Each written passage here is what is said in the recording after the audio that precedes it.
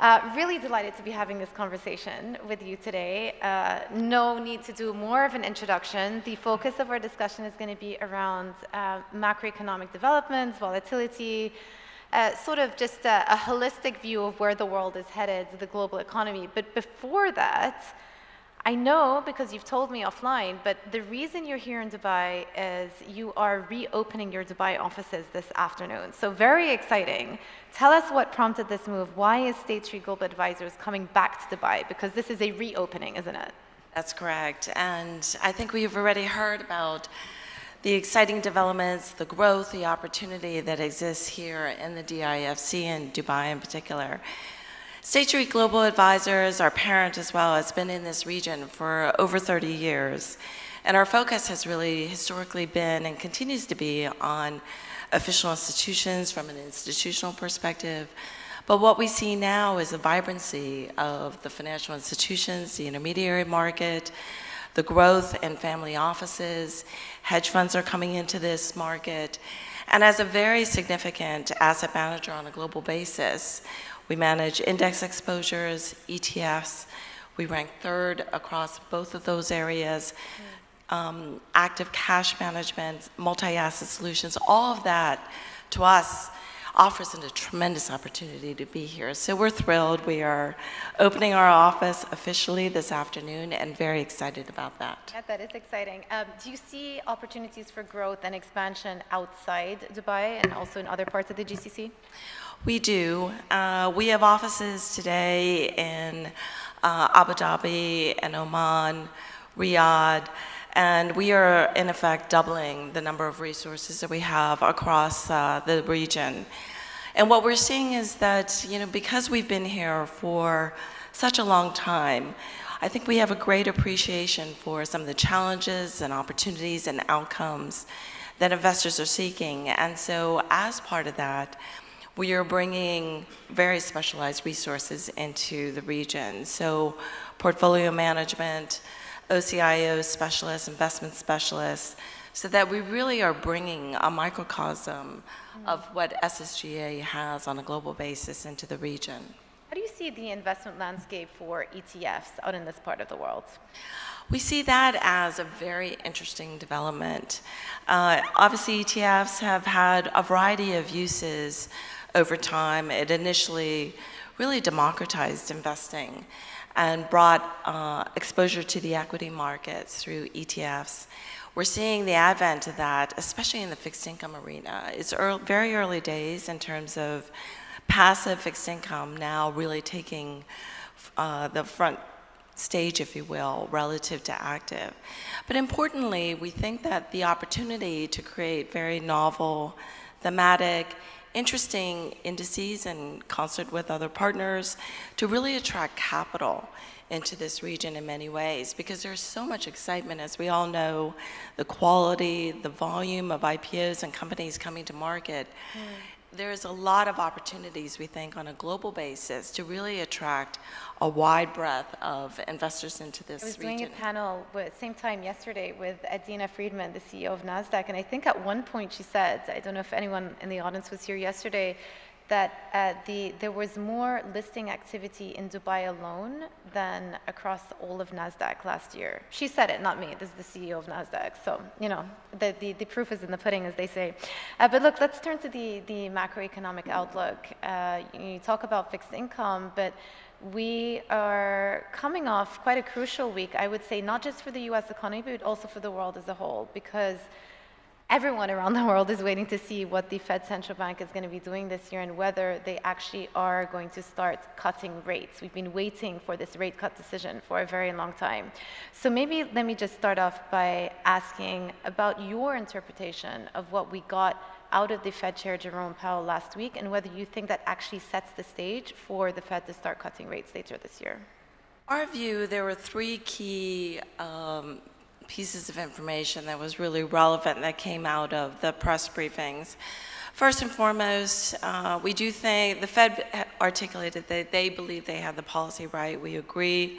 They are focused on either maintaining rates or cutting, but very unlikely to hike rates. Mm. Secondly, uh, Chairman Powell spoke about uh, the quality of uh, the labor environment in the US, and we think that has very much brought back into view the dual mandate that the Fed has. And then importantly, they talked about uh, reducing the balance sheet and lessening the amount of QT starting in the beginning of June. And we think that sets the stage for easing of monetary policy in the US. And as we spoke about yesterday, uh, our belief, which is somewhat out of consensus, is that the Fed should be positioned to start cutting rates as soon as July. And in our view, we think there's room for 75 basis points of cuts. And I think a lot of that has to do with really looking underneath the surface. Overall, we know global growth is slowing. We see disinflationary pressures. You only have to step back a year from today and look at you know, where the primary inflation measure, which is PCE, was at mm. 4.8% last year. This year at 2.8%. We're not quite at that 2% Yeah. target, but it's very much in view. Yeah, so you've got 75 basis points, there's about 45 priced into the market, so a little bit more than, than what the market is pricing in there. Um, But let me just come back to your point about core PCE. It- is moving in the right direction, but the last couple of months, it's sort of stabilized close to 3%. It, it's not continuing to trend downwards. To what extent do you think that we are now just stuck in this stickier inflation environment? A lot of central bankers talk about the final mile against inflation being the hardest. Uh, Do you think that there is um, credence to that argument? We don't really see that, and you have to dissect the inputs in terms of inflation, right? We all know that we've seen goods inflation come down. In terms of services inflation, it actually has been quite concentrated, and it reflects what we've seen on the goods side. So the key drivers of services inflation has been shelter, has been uh, auto insurance, and repair services. And so you could see that abating over time. I think the most important area to focus in on is overall labor and wage inflation. And we saw obviously the jobs number Yeah. was weaker than was expected. Uh, leading up to this point, even the growth in jobs has been quite concentrated across the government and uh, the healthcare services sector. Government numbers came in quite a bit low. We think that that will probably get revised. But the important thing to note is that the jobs that are being created today are lower quality jobs. These are part-time working jobs. These are, um, you know, uh, really focused on smaller companies, those that employ one to 10 people, not necessarily the larger companies. The number of job openings have come down. It's on par with what we saw in April of 2020. We are also seeing workers not quitting. Yeah. And it's now at a level akin to what we saw in August of 2020. And so our view is that the trend is very clear, even if the data isn't necessarily showing that through. And so that is leading us to our view that it's important for the Fed to move sooner rather than later. Is this soft landing or hard landing material, what you're describing? No, our overall growth assumptions are not that far off from the IMF. I think the place that we differ the most is in the US. Our expectations are for 2% growth versus I think the IMF is at 2.7% growth. So it's still reasonably Decent. robust growth. Yeah. It just suggests when you look at growth on the one hand, inflation numbers on the other, the policy rate is just too high. Mm. Let's talk about uh, your investment and asset allocation decisions. Given what you've just described, particularly about you know, the state of the US economy, some weakness there, but again, not hard landing grounds. We're not talking about recession in the US. How do you position for that environment? So we have different views. Uh, in the short term, we actually think it's a pretty constructive environment, and we are overweight equities, cash, and gold. Uh, I can go into that. I would say longer term, more over the 12 to 24 month period, because of our view on the economy, we would tend towards more quality, both on the equity side as well as fixed income, much more towards governments. If I focus on the near term, even though the US arguably is trading a little bit higher than the mean over time, we still see tremendous strength. Obviously, a number of S&P 500 companies have reported, Yeah. by and large, they've beat estimates. Revisions are still coming in higher, and we think that year over year, we're likely to see a good 10% growth in earnings, and that bodes well. And uh, to a lesser extent, we're still interested in emerging markets just because the overall growth dynamics, the amount of leverage is much more constructive. Uh, cash, for obvious reasons, we're being paid to be in cash, and gold is the other place that we are overweight, in part because we think it provides a very interesting hedge to extreme outcomes.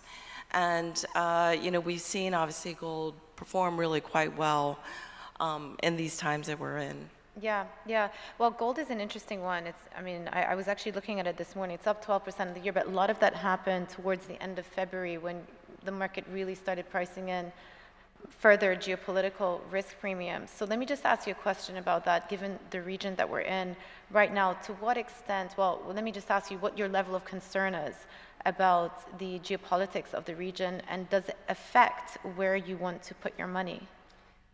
Of course it does. I mean, there are myriad aspects of that question. If I focus specifically on sort of the macroeconomic impacts of geopolitical tensions, you know, the real risk to the market is either supply chain disruptions or energy disruptions. And so that could introduce uh, some stagflation shocks to the system. Um, and obviously, you know, there are, we get questions a lot in terms of how do investors sort of hedge against a potential scenario like that. And that's where we would say, on balance, uh, there may be an argument to be long energy, to be long gold. Um, in terms of equity exposures, to have more of a defensive nature, focusing on sectors like utilities, healthcare, consumer staples. And then thinking even broadly from a volatility standpoint, clearly today, you know, risk assets are really pricing in a much more benign macroeconomic environment. Yet an event that could be quite disruptive would shift that and thinking about which economies may be more at risk. And so there's an opportunity, US dollar versus euro, sort of thinking about that, going long volatility, are ways to sort of hedge a bit Yeah. that Yeah. I, I, I am interested in just your, you know, your composition of equities, cash, and gold, because it seems to be somewhat of a barbell approach. You've got, you know, the high risk, you've got the very safe, the cash, and then you've got the, uh, Hedge, the safe haven, the hedge, yeah, the gold. Um, but when it comes to cash, because interest rates are so high, I get the premise of why you'd want to put your money in cash and get that interest rates, those interest rates uh, for on, you know, on, on, on just deposits. But if the Fed do start cutting interest rates, would you be incentivized to reduce your holding of cash and actually start deploying it? We would be, and that's why when I talked about the longer term horizon, even not that long term, but medium horizon, we would be shifting into, uh, you know, higher quality fixed income, because that we expect that to be uh, uh, an attractive place to be. But at the same time, you know, the markets are reasonably priced. And so uh, not only are you getting yield in cash, but it also provides an opportunity to deploy more into the market should opportunities arise. Right. So when you say medium term, that gets us through this November. There's a certain election coming up in the U.S. Uh, how do you think a change of presidency, a, a return of President Trump, would also infa- affect your investment horizon? Yeah, we, again, we've thought about this uh, question more from a macroeconomic standpoint, less about, um, you know, some other factors. So the question is really status quo versus a Trump presidency. We think that the Senate is leaning more towards Republicans, House leaning more Democrat, although we could see a potential sweep should Trump uh, um, win the overall election. If it remains the status quo, we think it's very much a constant debate, discussion around the debt ceiling.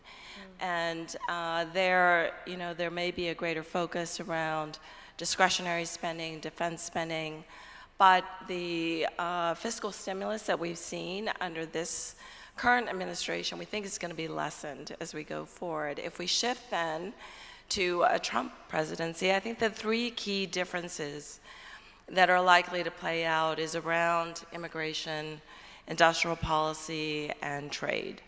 And so we know that Trump was very much, uh, you know, a proponent of limiting immigration under the pri- Biden presidency. Uh, those measures have continued, but we've seen even in 2023 alone, 2 million workers coming into the U.S. economy. Now, that has helped uh, abate sort of the labor inflationary pressures, but also introduce probably some level of services, goods uh, demand. Um, the second area is obviously trade. Uh, you know, Trump has been uh, very vocal about uh, wanting to introduce tariffs, mm. whether that's tariffs coming in from China or just broadly, just tariffs in general. We think both of these have impacts in terms of growth and have inflationary pressures. And then there's the industrial policy. Because a hallmark of uh, the current administration has been fiscal stimulus focused around the renewable sector as well as in the semiconductor sector. And we think on balance, a lot of the Republican-led states have benefited from these policies. So we doubt that there's really going to be that much change in terms of the overall contours. Mm. But there may be a greater emphasis on fossil fuels. And so I think it's really this question of what is the impact on interest rates, on inflation. But it's one of the first times that we've seen not that much difference as we look forward, uh, you know, on who ends up in office, as we've maybe have seen in prior elections. Mm. I would just say, you know, going back to 2017, and I work in the news, every morning we would come in and there'd be a new tweet out about tariffs on some other nation, and that sort of drove the agenda for the day. So I, I wonder to what extent markets and investors are being complacent about this just question mark premium about what a potential Trump administration could do and what they have in mind because it's, it's difficult to know beforehand and probably they don't know because oftentimes he would make decisions on the spot. There's that uncertainty premium that goes along with that presidency, that type of presidency. I think that's right. You know, I think when President Trump first came into office, he had written a number of executive actions. And I think a lot will depend on whether he has a split Congress or if it's uh, you know single party. I think it'll be more easy, obviously, for him to enact things that he wants to get done. And a big question is we have, you know, the tax cuts. They're going to come to an end mm. in the next couple years under the next administration. It'll be easier to continue those if uh, the Republicans um, have the majority in both parts of Congress little less so, I think, if it ends up being split. Mm. Uh, we've got a couple of minutes left. I want to ask you a question that sort of ties in some of the geopolitics of the region and the world with the U.S. dollar, because um, you know, in the past few years, there has been a movement from other parts of the world to reduce their dependency on the US dollar, be it by signing trade deals and other currencies, um, joining blocks, you know, BRICS, there was talk about issuing a currency that is separate from the USD for trading purposes. What is your view of the US dollar over the medium term? I'm not talking about the next couple of months, but just over the medium term. Do you think that its dominance is going to start to subside? We don't really see that today. I think from a valuation basis, obviously the US dollar is reasonably strong. And if we're correct in terms of the Fed beginning to cut, we think that there's room for the dollar to decline by 10, 15%. It's really a question of less whether the dollar has its dominance, but just at what price. And I think that is our focus in the sort of medium term. Mm. Final question then. We spoke mainly about the US, but are there any other global markets that are on your agenda, on your horizon right now? Yeah, so we've been focusing obviously on the developed markets. We do see this rate cutting regime coming into play. And uh, we actually think that the EU will be the first to cut. We think that time frame is June. If you look at Germany and France, their inflation rates are at 2.2%, so it's really timely. To be followed by the US, Canada, the UK, And then we would expect Japan to increase rates, something like 15 basis points, probably before the end of the year. Mm, Yeah, Bank of Japan, always the last one to act. Well, I'm going to leave it there. Thank you so much. Uh, Hopefully you enjoyed the discussion. That was Yie-Hsin Hung, the uh, President and CEO of State Street Global Advisors. Thank you. Thank you.